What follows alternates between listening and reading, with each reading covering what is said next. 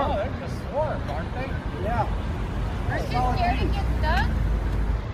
This theater was reopening at the end of the pandemic, and the bees were first in line.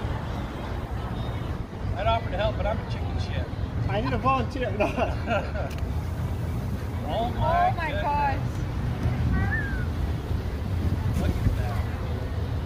And then they'll eventually all go that box? yeah. Did they call you and tell you they were there? Yeah. Yeah, they were swarmed about halfway across the road here.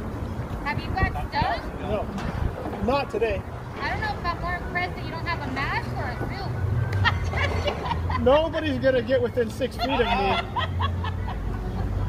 I'm safe from coronavirus, whatever. Everything.